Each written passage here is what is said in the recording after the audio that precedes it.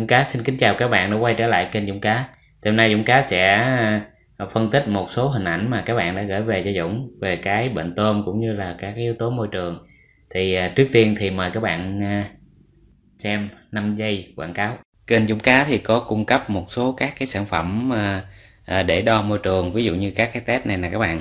Thì có 5 loại test mà Dũng hay thường chia sẻ với các bạn. Ví dụ như là hai loại khí độc là N3 và cái khí độc NO2 thì tất cả những cái này thì có cái à, hướng dẫn rất là cụ thể.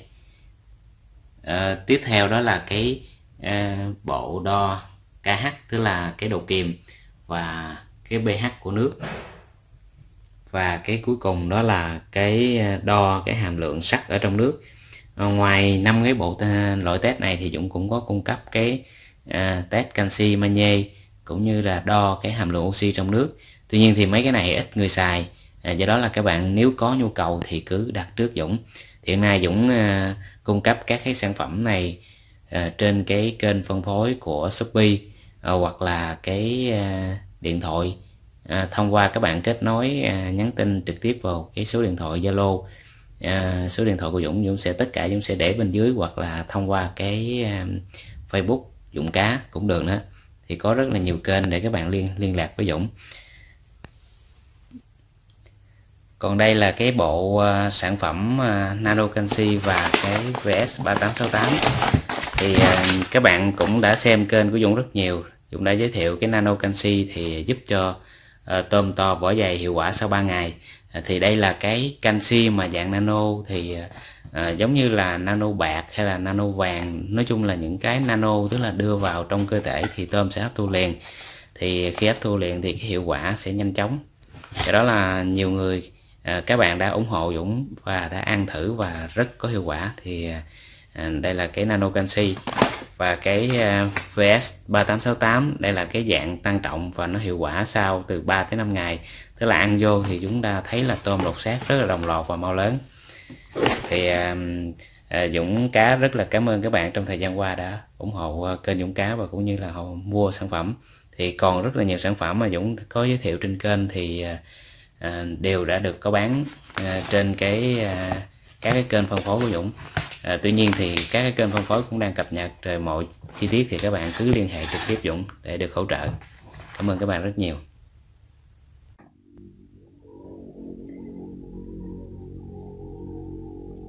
Rồi Dũng Cá rất là cảm ơn các bạn trong thời gian qua đã tin tưởng và ủng hộ Dũng cũng như là à, gửi một số cái thông tin về à, để à, nhờ Dũng tư vấn thì à, đây là hình ảnh à, tôm sú của một bạn à, đã gửi về. Thì bây giờ zoom bự cho các bạn.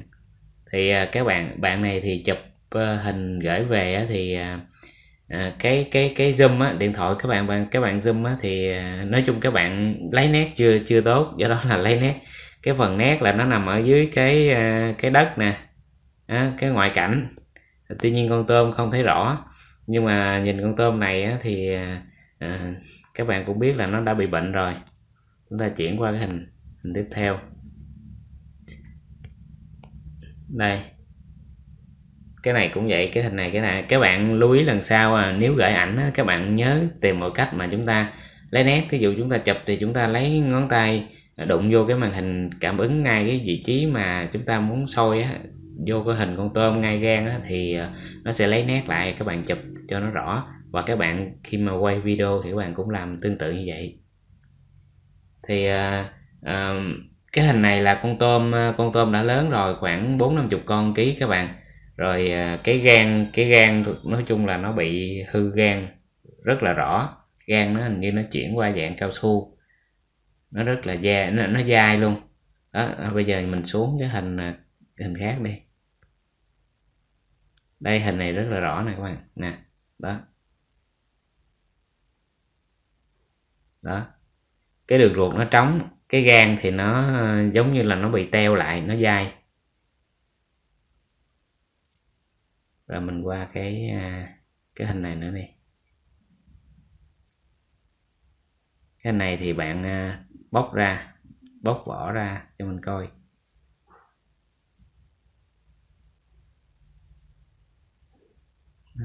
Nhưng mà ở những cái hình ảnh này, các bạn chia sẻ cho Dũng thì Ờ, rất là buồn ở chỗ là nói chung mình không có rõ mình phải lấy nét lại.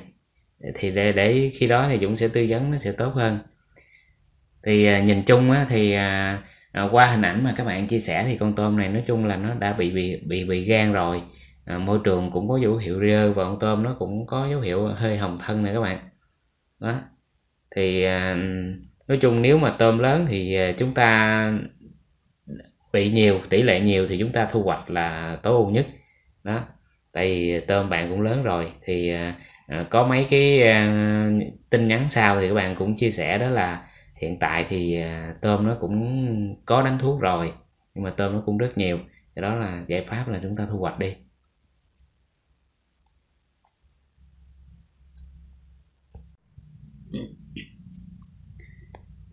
Tiếp theo đây là hình ảnh của một bạn gửi về nữa. Thì à, hình này thì à, thật nhìn thì con tôm nói chung là nó đầy đủ về cái hệ thống gan tụy này các bạn đường ruột cũng được. Tuy nhiên con tôm à, có thể chúng ta chụp nó không rõ nhưng mà thấy nó hơi đục mình. Đó. Thì à, đây là con tôm khỏe con tôm tôm của bạn. Ở cái bạn này thì à, à tôm đang có vấn đề và nó đang rớt nhiều và các bạn đưa ra một số hình ảnh con tôm để chúng Dũng phân tích. Thì đây là con tôm mà bị rớt này các bạn. Thì khi rớt thì à, nói chung là con tôm nó bị còi cọc, rồi bị ăn, bị còi cọc, rồi gan đường ruột, thì nó bị hư. Nhưng mà nhìn cái này thì à, chúng ta có thể đón được con tôm nó bị gan với ruột luôn. Đó nhưng mà khi mà con tôm mà nó có rớt rồi á, thì à, nó thường có những cái biểu hiện nó hư vậy đó. Thì à, do đó là à, chúng ta cũng rất là khó đoán. Đây là con tôm khỏe. Tôm khỏe thì tất nhiên nó sẽ không có dấu hiệu gì chỉ có hơi đục mình thôi.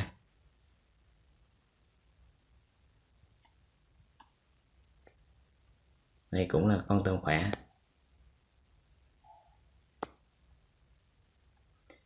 Tôm này khoảng 100 230 ờ, con một ký rồi các bạn đó đây tôm có ờ, vấn đề.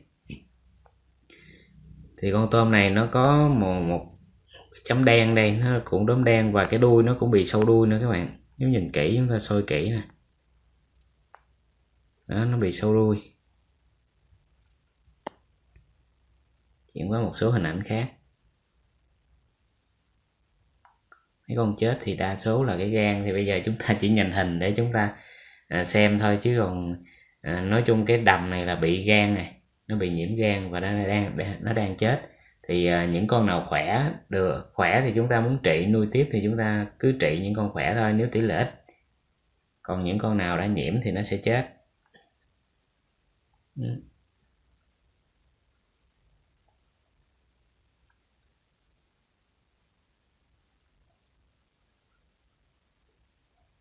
ừ. đang tôm khỏe.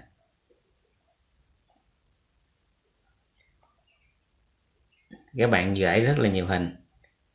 Đó, để quay trở lại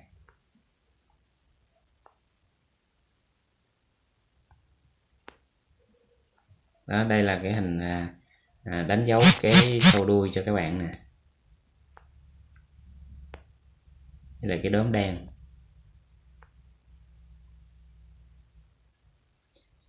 Thì à, đó là một số cái à, thông tin về cũng như là những cái hình ảnh mà các bạn gửi về cho Dũng.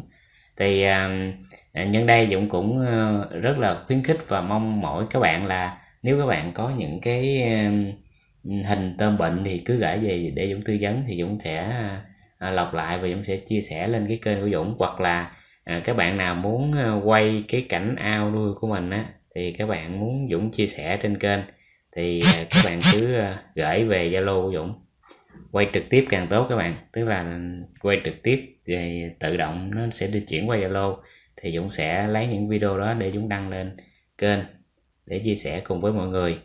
Và đặc biệt là các bạn khi mà quay hay chụp thì các bạn nhớ chuyển cái màn hình ngang lại nha. Đừng có để màn hình đứng. Thì hiện tại là hôm nay thì Dũng sẽ làm để các bạn thấy là khi mà à, các bạn gửi hình đứng thì về thì à, kết quả thì sẽ ra cái đoạn video nó đứng và hai bên cái khung nó sẽ đen như thế này rất là xấu. Do đó các bạn cứ quay cái màn hình ngang lại chúng ta chụp hoặc là chúng ta quay phim thì nó sẽ đạt chất lượng tốt hơn. Thì à, hôm nay thì Dũng phân tích um, hai cái hình tôm bệnh. Nói chung là hai cái bệnh gan hết thì à, các bạn dướng vào nếu mà dướng vào cái quan gan tỵ cấp á, thì khả năng điều trị nói chung là không có. À, do đó là Dũng cũng không có đưa ra cái cái liệu pháp để điều trị. Thì đưa ra thì cũng được nhưng mà Ờ, trị thông thường là nó không hiệu quả nếu tôm chúng ta đạt sai thì chúng ta thu hoạch là tốt nhất. Thì cảm ơn các bạn đã chú ý theo, theo dõi cái video này và hãy nhớ ờ, nhấn nút đăng ký nhấn chuông để theo dõi những video mới nhất. Xin chào tạm biệt các bạn.